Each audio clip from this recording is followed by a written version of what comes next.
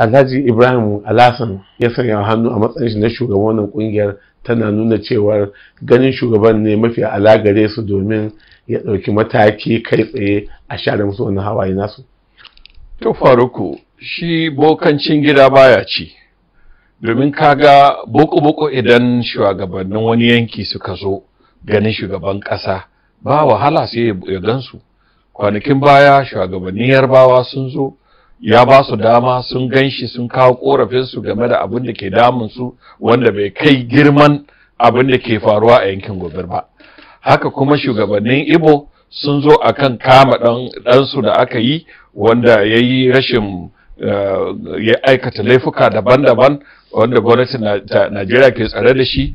Ba su samu wani tarnaki wajen ganin shugaban ƙasa ba.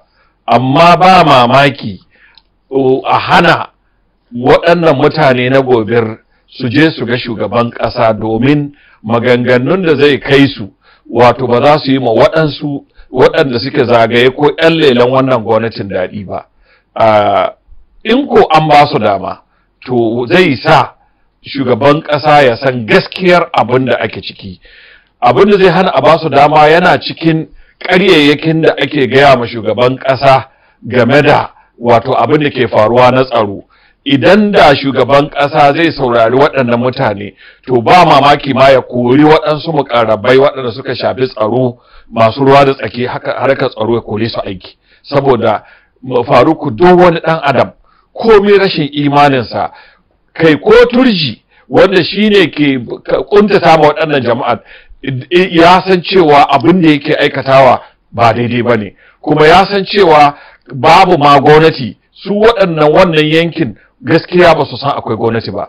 Babu dai abu na ci gaba guda wanda aka je aka yi wannan yanki tun da aka kafa wannan gwamnatin. Sa'annan kullum cikin kuntata musu ake. A kashe su a yi ma matansu fyaɗe a kwashe dukiyoyinsu a kori sarakunansu a naɗa waɗansu a hana su zuwa makaranta a hana su zuwa kasuwa a hana su kowane irin al'amari babu noma. Kuma ga kunci kuma in za su bar gari kuma a tare su a kashe a ce sai su zauna haka nan kuma a ɗora musu haraji. Kuma abubuwan nan da ake yi wai akwai dandazon ma'aikatan tsaro da aka aje a wannan yanki. Kuma wai wannan ɓangaren jiha ne inda hafsan hafsoshin sojojin najeriya ya fito inda ministan 'yan sandan najeriya ya fito.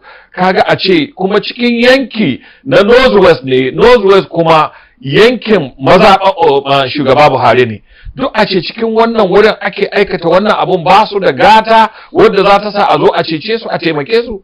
Saboda haka ya kamata ya zama wajibi su je su ga shugaba buhari su gaya mai gaskiya abin da ke faruwa don ya san mutanen da ya ba amana tsaro ba gaskiya suke gaya masa ba. Man nasiru al'umma na gobe babu shakka suna cikin kunci domin a yanzu halin da ake ciki a nan ne aka hana wato mutane fita daga yankin. 'yan ta'adda 'yan bindiga sun ba da umarni cewa kada kowa ya bar wannan yanki.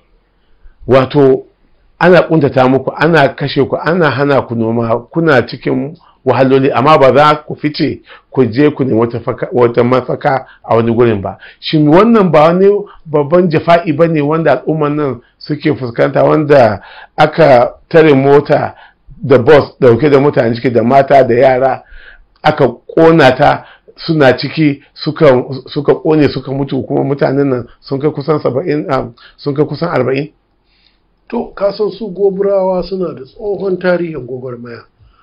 A duba kaman shi bawa jangwarzo wanda aka yi shi daga wannan ɓangare kuma da irin gwagwarmayar da suka yi.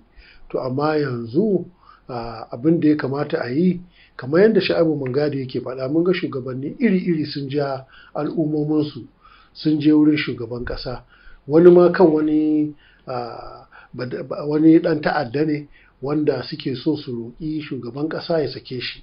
To wannan al'umma ce gaba ɗaya take cikin halin ƙaƙanikayi amma yau ina sarkin musulmi ina sauran sarakuna na wannan jiha suke da ba za a yi ƙungiya kamar yadda sarakunan ibo suka ƙungiya suka je suka samu shugaban ƙasa domin da yawa suna cewa anya shugaban ƙasa ya san me yake faruwa kuwa? Hanya ɗaya da shugaban ƙasa zai sani. Babu yadda za a ce shugaba ko